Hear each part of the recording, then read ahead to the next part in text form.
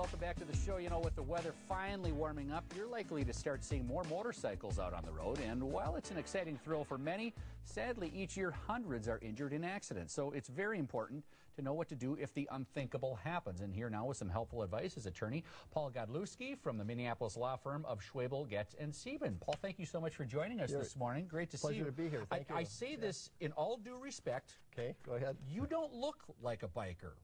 But you are. You ride motorcycles. I do. And uh, you can't judge a book by the cover, I guess is what I, I should guess be that's saying. right, And there's a lot of uh, uh, businessmen uh, and women, doctors, lawyers that do ride bikes. That's correct. And my senior partner, Jim Schwebel, rides a motorcycle. Wow, that's fantastic.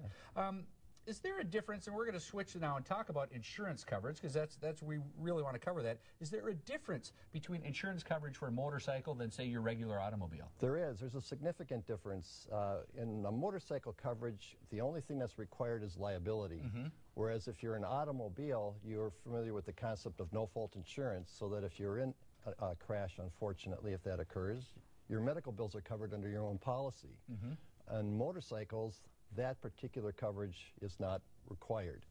So you actually have to ask for it Okay. to get it. Okay. And then on the other end of it, there's uninsured and underinsured motorist coverage, which is not required for motorcycles either. Okay. You have to actually ask for this coverage to get it. That's what I that what I was going to ask next. Okay, hypothetically, Rob's going to go out and buy a motorcycle. Next thing, I've got to get insurance, or maybe get insurance first. I don't know. What do I look for? Well, one of the things you want to look for right away is um, don't ask for the cheapest coverage. Okay. Uh, don't be afraid to search for uh, coverage that is at least 100 to 300,000 for liability and for uninsured and underinsured motorists. That much. and it's not the premiums don't double when you get the coverage in that uh, amount. What happens is the highest premium dollars for insurance coverage are the first levels of coverage. So if you have, for example, thirty thousand dollars worth of coverage, which is the minimum in Minnesota, Okay. if you double it to sixty thousand dollars, your premium won't double. It might only go up a few dollars. Okay. Is the coverage the same? Then you see a lot of people um, giving people rides, riding on the back of a motorcycle. Is it, are they, are they covered as well?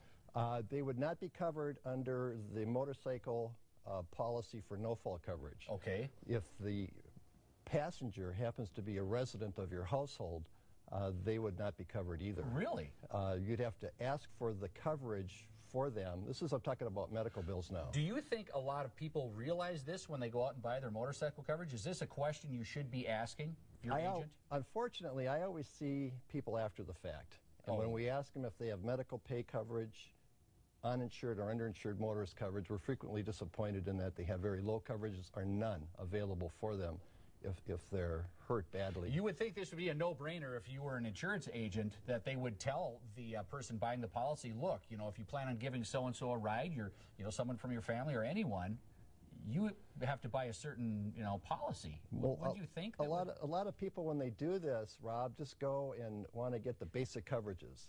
They just don't know that there's a significant. they want to get on the road. They don't know there's a significant difference between uh, uninsured and underinsured motorist coverage when it comes to a car versus a motorcycle. What is the difference? Uh, the difference is for a motorcycle, it's not mandatory. They don't have to be offered it when they go by their policy. In an automobile coverage, it's mandatory. It has to be provided. And you're also uh, an advocate and very involved with the Brain Injury Institute of Minnesota. Talk about that a little bit and, and the helmet laws. I am. Um, I have a nephew uh, who had a head injury on a motorcycle, and through that contact and the resources available through the Brain Injury Association, I became active on their board of directors. And one of the things the Brain Injury Association stresses is prevention. And one of the best methods of preventing serious injuries in a motorcycle crash is wearing a helmet. Why do people not want to wear a helmet? Uh, You know, there's a lot of reasons for it, and it's quite controversial when you talk about personal choices. Minnesota does not have a mandatory helmet law. But if you drive up into Michigan, it's mandatory. So Right. a lot of motorcyclists carry charts with them as to what states they're traveling through where they have to wear a helmet or not. And it boils down to personal choice here in Minnesota.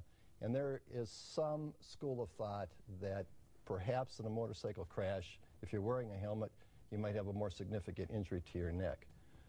I haven't seen any research to that effect, but there's some That's- strong belief uh, by, by some motorcyclists that that occurs. Very interesting. Well, thank you so much for stopping You by bet. today. We are going to start seeing a lot more motorcycles out We there. are. weather I've seen like them this. already. You All bet. right, we'll stop by again. Thank you, Schwebel. Goetz, and Sieben is located at 5120 IDS Center in Minneapolis. For more information, call 612 377 7777 or log on to schwebel.com.